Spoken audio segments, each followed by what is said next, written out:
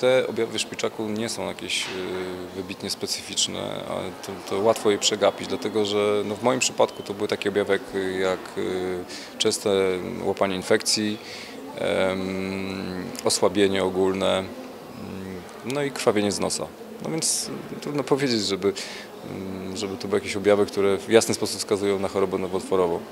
E, Przypadek sprawił, że trafiłem do lekarza, bo okazało się już wtedy właśnie jakby to, to osłabienie spowodowało, że wykonałem badania. Jak wykonałem badania, no to OB3 cyfrowe jakby pokazało, że coś jest nie tak. Bardzo szybko zostałem skierowany do lekarza i praktycznie prosto z gabinetu lekarskiego przewieziono mnie do szpitala.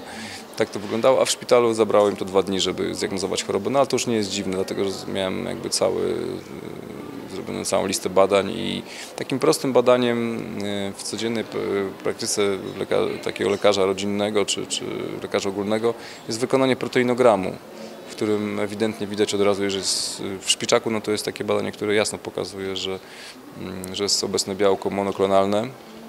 Nie jest to drogie badanie, kilkadziesiąt złotych. Badanie OB też pokazuje, że wysokie OB pokazuje, że coś się dzieje, no, ale proteinogram tu jest bardzo prostym badaniem. Yy, No, w Polsce są one standardy leczenia, z tym, że no, to, te standardy daleko odbiegają od tego, co jest na zachodzie, czy na zachodzie, w innych krajach mówiąc ogólnie, bo nie tylko na zachodzie, wiem, że nasi sąsiedzi na przykład mają większe możliwości niż my. Nie będę może wymieniał tych schematów, bo to nie ma sensu, natomiast y, są to z reguły leki, które w zasadzie Są lekami, ja otrzymałem na początku takie leki, które w zasadzie są lekami historycznymi już, już nie powinny być y, w tym momencie stosowane, z tym, że sądzono, że doprowadzi się mnie do, do przeszczepu. No niestety te leki nie były skuteczne i po czterech terapiach, z których tylko w jednej pojawił się no, nowy, jedno, jeden z tych dwóch nowych leków, które mamy w Polsce,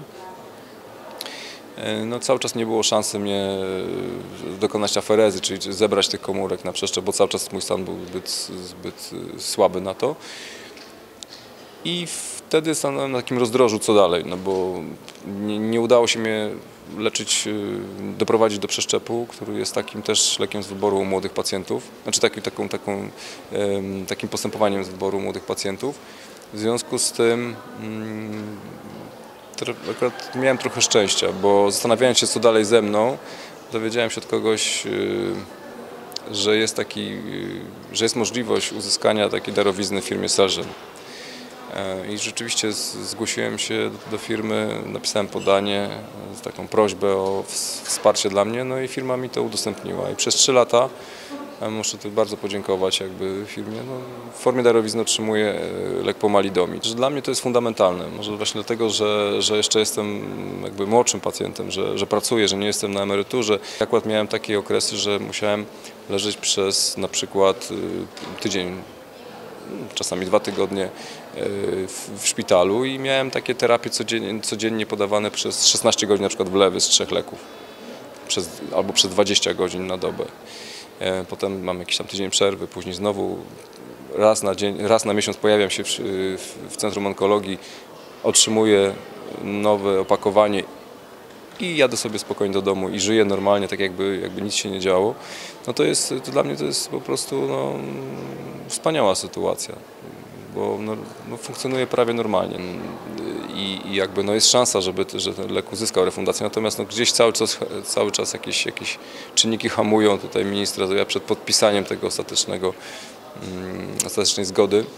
No, uważam, że lek, który ma największe szanse na refundację w tym momencie w naszym kraju, bo inne jeszcze no, co najmniej przez najbliższe dwa lata nie, nie będą miały technicznie takiej możliwości, więc yy, mając, biorąc pod uwagę, że jest 8 nowych cząsteczek leczeniu szpiczaka, my w Polsce mamy dostępne dwa, no to jeżeli mamy szansę uzyskania chociaż jednego z tych pozostałych siedmiu leków, których yy, sze- sześciu leków, których nie mamy, no to zróbmy to. No niech, niech rzeczywiście ktoś się pochyli nad losem tych pacjentów i, i, i podpisze tą refundację na ten lek, bo jest to być albo nie być. No to tutaj w, akurat w onkologii to jest prosta rzecz. Nie ma leczenia, umiera, umierają pacjenci, umierają ludzie. No. Największą potrzebą na dziś to jest uzyskanie dostępu do nowych leków.